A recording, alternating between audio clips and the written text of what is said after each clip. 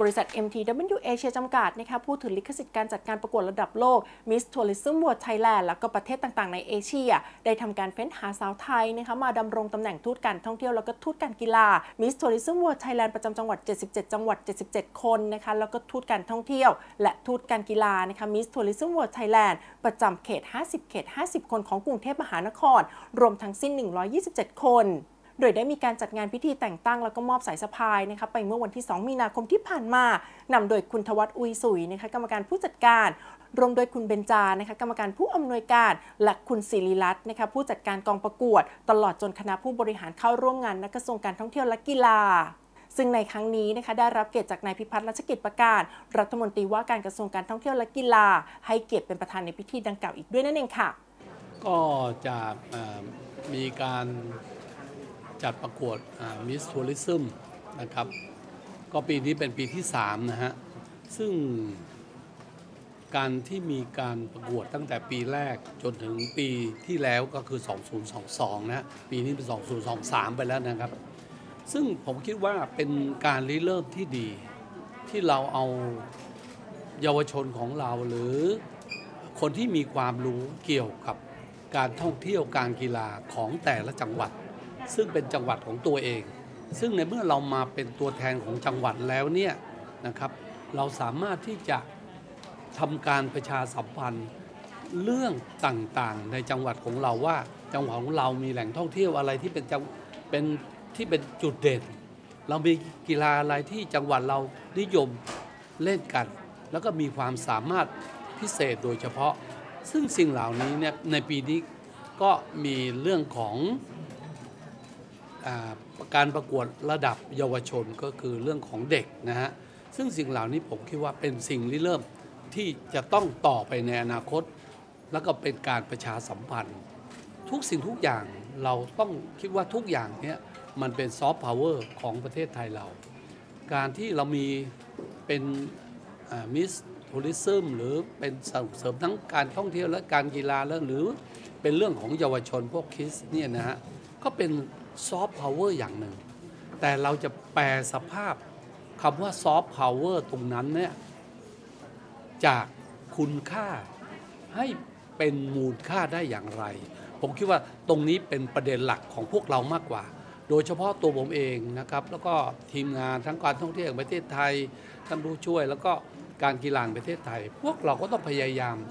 ค้นหาสืบเสาะแล้วก็แปลจาก คุณค่าให้เป็นมูลค่าให้ได้มากที่สุด เพราะการที่ว่าประเทศไทยขณะนี้พวกเราก็ถือเป็นเครื่องจักรเครื่องจักรหนึ่ง ในการเร่งเศรษฐกิจจากการที่มีสภาวะเศรษฐกิจที่ซบเซาหรือหยุดชะงักในช่วงของการแพร่ระบาดของโควิด -19 ในปี 63 และ 64 ซึ่งวันนี้เนี่ยเราคิดว่าประเทศไทยเราเปิดแล้ว เศรษฐกิจเราเริ่มฟื้นฟูแล้ว แต่ เครื่องจักรที่สามารถกระตุ้นให้เศรษฐกิจเดินหน้าได้เร็วที่สุดก็คือหมวดของการท่องเที่ยวและการกีฬา เพราะฉะนั้นวันนี้เราก็เลยมีการสร้างตัวแทนในลักษณะของนางงามประจำจังหวัดเพื่อเป็นมิสของการกีฬามิสของการท่องเที่ยวและคิสของการกีฬาคิสของการท่องเที่ยว พร้อมบวกอีก 52 50 เขตในกรุงเทพมหานคร สิ่งเหล่านี้พวกเราคงจะต้องบูรณาการกันในหลาย ๆ ภาคส่วนนะครับ ไม่ว่าจะเป็นผู้ว่าราชการ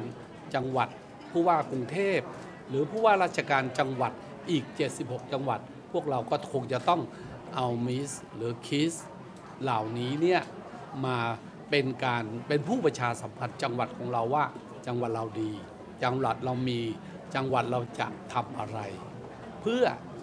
ทำให้เกิดมูลค่าสูงสุด คือผมคิดว่าสิ่งเหล่านี้อยู่ที่โอกาส แล้วก็จังหวะนะครับ แต่โอเคละในเรื่องออนไลน์น้องๆเขาก็มีการโพสต์ออกไปอยู่แล้ว แต่ทางกระทรวงการท่องเที่ยวและกีฬา ไม่ว่าจะการท่องเที่ยวประเทศไทยหรือการกีฬาประเทศไทย เราก็จะช่วยช่วงจังหวะที่เราลงไปจัดอีเวนต์หรือการการจัดการแข่งขันกีฬาก็จะเชิญน้องๆนะครับมิสทัวริซึมทั้งหลาย หรือคิสทัวริซึมเนี้ย มาร่วมออกในกิจกรรมนั้นๆ ซึ่งนั่นก็จะเป็นการประชาสัมพันธ์ แล้วก็เป็นการตอบโจทย์ แล้วก็เป็นการเชิญชวนให้น้องๆในรุ่นต่อๆไป ได้ศึกษาแล้วดูว่ารุ่นพี่ทำอย่างไร ในอนาคตอันใกล้นี้เนี่ยพวกเราต้องมีความเชี่ยวชาญสำหรับมิสหรือคิดในแต่ละจังหวัด หรือในแต่ละเขตในกรุงเทพมหานครเนี่ยคุณต้องรู้อย่างถ่องแท้ว่า คุณเป็นตัวแทนของจังหวัด หรือเป็นตัวแทนของเขต คุณจะประชาสัมพันธ์เรื่องอะไรในจังหวัดหรือในเขตต่างๆ ที่เราเป็นตัวแทน เพราะฉะนั้นสิ่งเหล่านี้ก็คงจะต้องมีการเติมความรู้ให้กับน้องๆ และจะให้ดีที่สุดก็ควรจะให้น้องๆ แต่ละคนที่เข้ามาร่วมประกวดนะครับ ให้รู้ถึงในแต่ละจังหวัดหรือจังหวัดของตัวเองเนี่ยมีอะไรที่เป็น จุดที่เราจะต้องนำไปประชาสัมพันธ์นำออกสื่อเพื่อจะเชิญให้นักท่องเที่ยวเข้ามาใช้จ่ายและมาท่องเที่ยวในจังหวัดของเราหรือในเขตของเราครับเดี๋ยวค่ะขออนุญาตนะคะที่จะเสริมนักมนตรีนะคะว่าจริงๆแล้วเนี่ยในเรื่องของการจัดทูตท่องเที่ยว และปีนี้เราถือว่าเป็นปีแรกที่มีทูตเยาวชน เพื่อการท่องเที่ยวแล้วก็ทูตเยาวชน เพื่อการกีฬา ต้องบอกเลยนะคะว่ายุคสมัยนี้ เด็กรุ่นรุ่นรุ่นใหม่เนี่ยเขามีการใช้นวัตกรรมเพื่อส่งเสริมเพื่อ PR และทำการตลาด ดังนั้นถ้าเรากลุ่มเขาตั้งแต่เด็กเนี่ยมันจะมีประโยชน์กับอุตสาหกรรมการท่องเที่ยวอย่างมาก โดยเฉพาะอย่างยิ่งในแง่ของประเทศไทย ซึ่งถือว่าเป็นประเทศหลักในเรื่องของการท่องเที่ยว การที่เราได้ทั้งเยาวชน เราได้ทั้งคนรุ่นใหม่ มาใช้นวัตกรรม เพื่อการส่งออกส่งต่อเนี่ยมันจะเป็นการผลักจุดขาย คือดันจุดขายเรื่องของซอฟต์พาวเวอร์ให้กลายคือเป็นจุดแข็งนะให้กลายเป็นจุดขาย ดังนั้นเนี่ยน้องๆแต่ละคนเนี่ยก็จะมีมิติความรู้ที่จริง ๆ แล้วก็ครอบคลุมทั้งซอฟต์พาวเวอร์เราพยายามที่จะกลุ่มเขา บางคนเนี่ยนะคะจะเห็นได้ว่านางงามเนี่ยเป็นนักมวยซึ่งตรงนี้เองเนี่ยเขาก็สามารถที่จะขยายความเชื่อมเกี่ยวโดยใช้นวัตกรรม คนที่จะรู้ในเรื่องของมวยหรือเรื่องของซอฟต์พาวเวอร์เนี่ยจะไม่ใช่จำกัดอยู่แค่ในประเทศไทย เรานั่นหมายความว่าเราจะขยายความเชื่อมเกี่ยวผ่านโลกออนไลน์ไปยังต่างประเทศ ดังนั้นสิ่งที่จะได้อะค่ะก็คือว่าได้ทั้งสองขายิงปืนนัดเดียวได้นกสองตัวก็คือว่า เราได้การเชื่อมเกี่ยวกับนักท่องเที่ยวกลุ่มใหม่ๆ ในประเทศไทยผ่านทูตท่องเที่ยว แล้วก็ทูตเยาวชน ทั้งในเรื่องของการกีฬาและการท่องเที่ยว อีกส่วนหนึ่งก็คือในเรื่องของโซเชียลมีเดียหรือว่าตัวตนที่เขาอยู่บนโลกออนไลน์ เขาสามารถที่ขยายความเชื่อมเกี่ยวนี้ไปยังนักท่องเที่ยวชาวต่างชาติ แล้วก็ขายไปยังจริง ๆ แล้วก็คือทัวร์โปรไเตอร์หลัก ๆ ทั่วโลกดังนั้นเนี่ยก็ถ้าตอบเลยนะคะว่า เป้าหมายที่รัฐบาลตั้งให้ไว้เนี่ยถ้าเราได้น้องๆมาช่วยด้วยเนี่ยเป้าหมายนักท่องเที่ยวที่ประมาณนักท่องเที่ยวไทยนักท่องเที่ยวต่างชาติเนี่ย25-30 ล้านคนเนี่ยน่าจะเป็นไปได้อย่างมาก และนักท่องเที่ยวไทยที่จะที่จะทำให้เกิดนักท่องเที่ยวการเยี่ยมเยือนเนี่ยไม่ต่ำกว่าปีที่แล้วนี่คือ 250 ล้านคนครั้งเนี่ยก็น่าจะเป็นไปได้ ส่วนสุดท้ายก็คือสิ่งที่สำคัญมากที่สุดก็คือว่า ตอนนี้จำนวนก็คือจำนวนแต่เราต้องการรายได้ต้องการนักท่องเที่ยวคุณภาพ ดังนั้นเนี่ยรายได้ที่เราตั้งเป้าไว้ 2.38 ล้าน อาจจะได้มากกว่านี้เพราะน้องๆ จะพานักท่องเที่ยวคุณภาพผ่านซอฟต์พาวเวอร์เข้ามาให้ประเทศไทยค่ะ ปีนี้นะคะเราได้จังหวัดปราจีนบุรี ซึ่งถือว่าจังหวัดปราจีนบุรีเนี่ยเป็นจังหวัดเมืองรองที่น่าสนใจมากๆ มีไฮไลท์กิจกรรมต่างๆ ซึ่งจริงๆแล้วพ่อเมืองปราจีนบุรี และก็หน่วยงานสนับสนุนรวมถึงภาคเอกชนมีการเตรียมความพร้อมอย่างมาก การเตรียมความพร้อมนี่ที่บอกว่าการเตรียมความพร้อมทั้งในด้านของมาตรฐาน การบริการ ด้านการท่องเที่ยว แล้วก็ในเรื่องของการท่องเที่ยว มาตรการทางด้านสาธารณสุข และในส่วนอื่นที่เติมเต็มก็คือในเรื่องของแหล่งท่องเที่ยวมิติต่างๆ อาหาร เทศกาลประเพณี แล้วก็เราต้องการนะคะที่จะทำให้ปราจีนบุรีเนี่ยเป็นหนึ่งใน location ที่จะสร้างความเป็น fever ให้กับทุกคนที่อยากจะมา แหล่งท่องเที่ยวชุมชนปีนี้เราก็จะเอาเข้ามาเสริม เพราะแหล่งท่องเที่ยวชุมชนถือว่าเป็นฐานรากที่จะสร้างเศรษฐกิจให้มั่นคง ดังนั้นเนี่ยในปีนี้เองเราจะเห็นอะไรดีๆ จากปราจีนบุรี ซึ่งก็จะกลายเป็นต้นแบบที่จะสืบต่อไปในในปีหน้านะคะ ค่ะ ก็ตอนนี้นะคะคุณลักษณะพิเศษของสาวงามเนี่ยเขาบอกว่าไม่ใช่แค่สวยแค่ภายนอก แต่ว่าต้องมีความเก่งมีความชาญฉลาดมี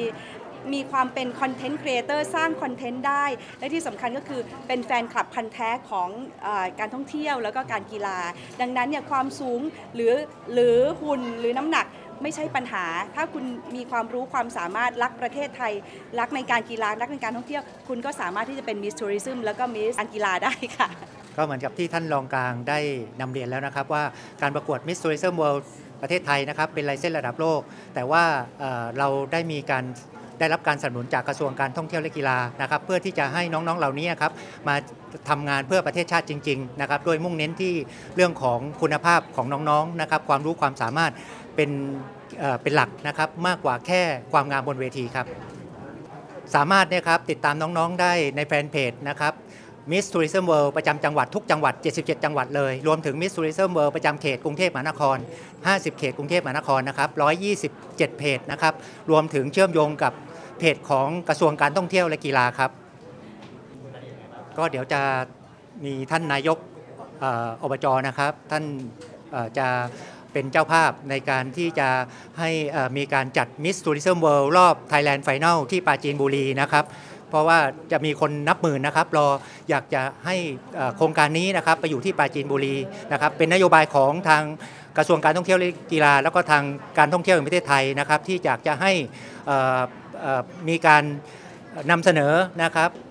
เมืองรองนะครับที่จะมาช่วยกันกระตุ้นในทุกจังหวัดของประเทศไทยร่วมกันภายใต้อ่อ ผ่านทูตการท่องเที่ยวทูตการกีฬาทั้ง 77 จังหวัดนะครับไม่ใช่ให้ทูตการท่องเที่ยวนำเสนอปราจีนบุรีเพื่อให้คนปราจีนบุรีเที่ยวจากปราจีนบุรีนะครับแต่น้องๆทั้ง 77 จังหวัดนะครับจะช่วยกระตุ้นให้เกิดเครือข่ายการมองเห็นการท่องเที่ยวทั้ง 77 จังหวัดนะครับให้เกิดเครือข่ายไปพร้อมกับนโยบายของการท่องเที่ยวแห่งประเทศไทย พร้อมนโยบายของกระทรวงการท่องเที่ยวแห่งประเทศไทยด้วยครับ